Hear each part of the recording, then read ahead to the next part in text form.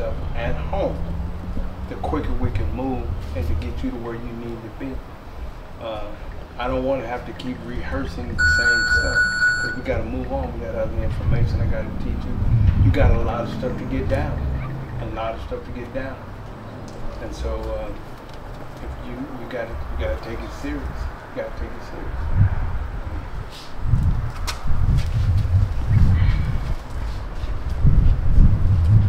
So let me ask you, what makes you want to do boxing, man, bro? I don't know, man. I just I love boxing. I always love boxing. Trying to be great. You want to Trying be to great? make it. Okay. Do you know him? Yeah, I've, I've been. I know who Elijah No. is. Like, do you really know him? Let's just knowing him as his son. Like, I know. I've, I've seen him on. You've seen his YouTube fight before? and on his Instagram too. I follow him and stuff. oh, Yeah. okay, okay, Yeah, I've been okay, seeing his last fight. okay. Yeah. So, which of the boxers do you watch? Like, I watch a lot of fighters. I like a lot of fighters. My favorite Canelo, Davis, Davis. Checker, Okay. Devin Haney. Okay. Yeah. We hope to see you in the next. Fight. How old are you now? I'm about to be 17 next month. 17. 16, yeah. Next four years, 21. yeah, I've been looking So- for you. Hope to Work see you. You know, up there. yeah, That's one of the top um, um, top boxers yeah. in Oklahoma City or in Yeah, in, the, in the be. U.S. Oklahoma City, U.S. Okay. Yeah. It makes it tough for you. You know. Well, he got you. Huh? If you follow your lead, you you know you can get him You there. gotta, you gotta follow the lead. Uh, Um, but it's you know it's difficult to follow some lead. You know, 'cause I'm I'm gonna put. I'm I'm putting him through the race. okay. Like I'm gonna put him through it. If he want to go through it, then he'll be all right. If he don't, then he won't. Uh, many of them, they say they want to till it's time to time to do the work. Then they fall off. Got it. They fall off. Uh, Yeah, coach. the easy part is to say it. The hard part is to, to do You it. just I was about to ask you a Charlo question because Charlo said he was gonna beat Canelo. It was Charlo. Yeah, He was just talking like you know it was gonna beat Canelo, right? yeah. But when he get in the ring, it was you know he was running around. Well, honestly, this is my opinion. Uh, he was able to get the fight with Canelo. He knew it was going to be a big payday. It will probably be the biggest payday that he'll ever have, whether he wins or loses. So, of course, he's going to say that he'll fight. He can win. He'll do whatever he, he needs to do to secure the fight. And, and, and he had a puncher's chance to win. But honestly, I don't think he ever thought that he could ever really actually win anyway. Uh, that's my opinion. But you know, they do that because, of course, they want to sell the fight. They want to make the fight. You know, it's it's a it's a dream. It's a memory. Even if you don't win, you've been there. I've been there.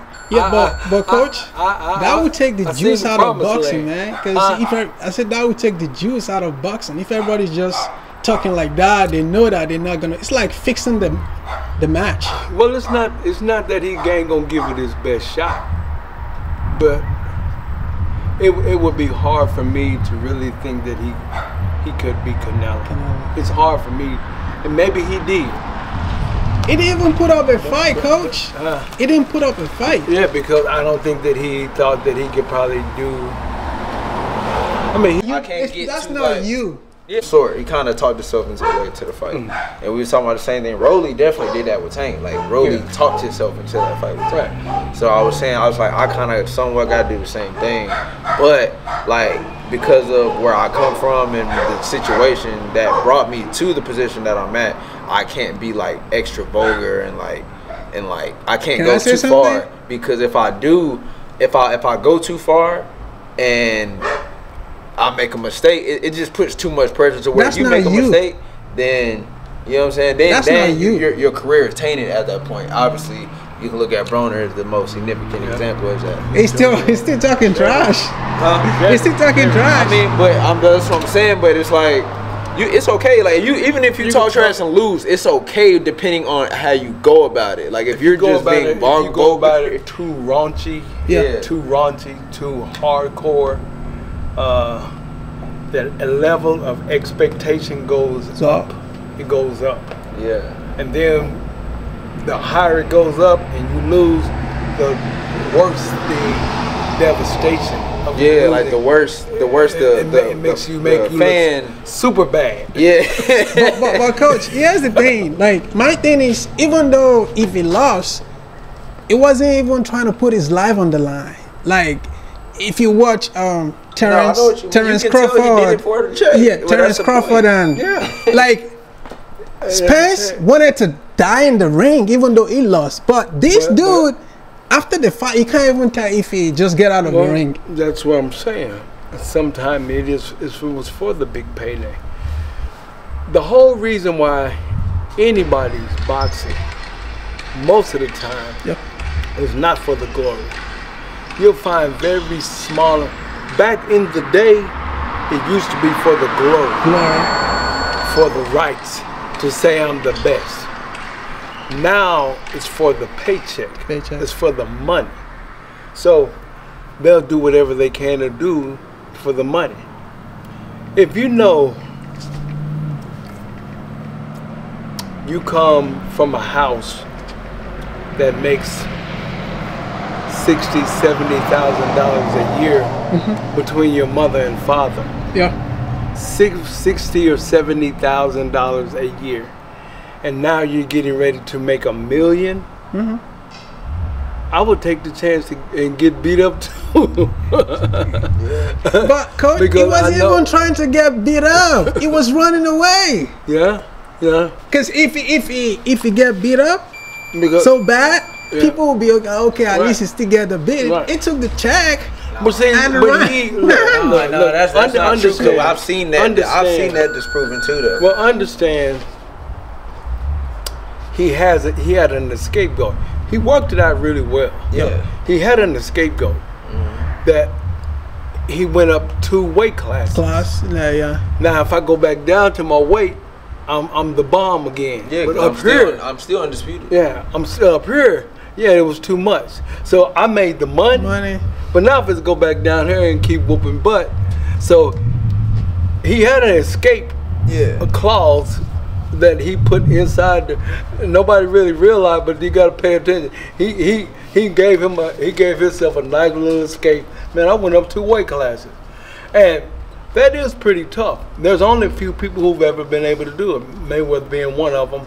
You know, you don't find very many people that can go up two weight classes and dominate in two weight classes. What do you think about Derrick James, ma- man, ma- coach? Maybe one. Derrick James, Uh, the coach of the year. Does he deserve the coach of the year? Because two of his fighters just, you know, Well, the whole thing is that I really don't know a whole lot about, About him him? on what he teaches and what he does. I just know his fighters. And can you truly judge a coach bye. Okay. by his fighters? fighters? Yes and no. Because fighters don't always pay attention to the coach. Uh, I've had quite a few examples of that that I have fighters that they don't pay attention. So then when they lose, it reflects me. Yeah. But he really didn't do what I told him to do. To do. You know, and he probably would have turned out something different if he would have listened. So does does a fighter really reflect the coach? Yeah, yeah, yes and no. So I don't know what he's doing outside. Maybe other people have more insight. Maybe he's a philanthropist and he maybe he helps other kids and maybe he does some other things that make him Oh, more okay, okay, deserving. okay, okay, okay, okay. I don't know what all the qualities that they're looking for to say you're the coach of the year. I don't really know, but uh, I know it can't just be just because your fighters are beating everybody. It has to be something else that that's fused in in there. So I don't. I don't Do you don't- think he got he has too much on his plate though? Because he has a Anthony Joshua, he has a Charlo brother, even the other twins. I'm not sure, but I'm thinking he probably got out. Then he got Errol No. No. No, the reason why I say that is because uh, they fight so far apart from each other. But he doesn't take a break. It's back to back, back to back. Seems. Well, um, but, but that, that's fine to him.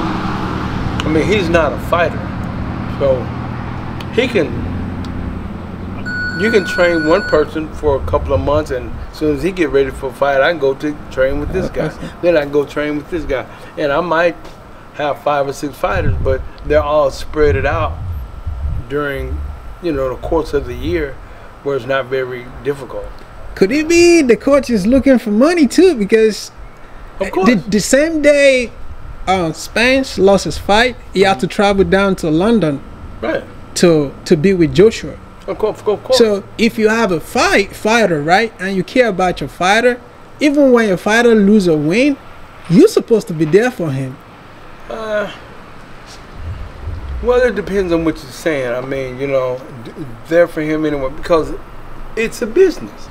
It's a business. It's a bit. It was going to be a business for me. It's going to be a business. It's a business for him. It's a business for. But why you don't have too many fighter artists? Like Well- elite fighter. Well, I you know I toned down, not necessarily because of uh, just being with him, but it's my wife had something to do with it. You know, she wanted me to be at home more.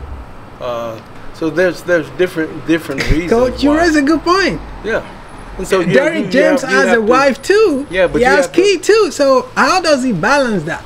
Yeah, but that's what you got to figure out. So- so- you know, but maybe his wife don't imp- impose as much of an issue as maybe my wife do. Maybe my pose, maybe my wife maybe pose more of an issue, and maybe his wife don't.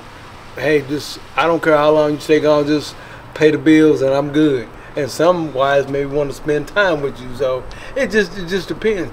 Every situation varies. I feel in my own. I feel like it's not giving each fighter like it's hundred percent like what they needed to get to that to to, to, to get that win. Well, you can't always blame it on on. He can't blame everything on me. As much as I love him, because I'm I'm just the information. I'm just to help with the information. But he's the one that's in the ring, so the IQ really has to come from him. Only thing that I can tell him, I got one minute to tell him what to do, but he has three minutes to initiate everything and do whatever. And sometimes I don't get a chance to tell him everything. sometimes he has to make adjustments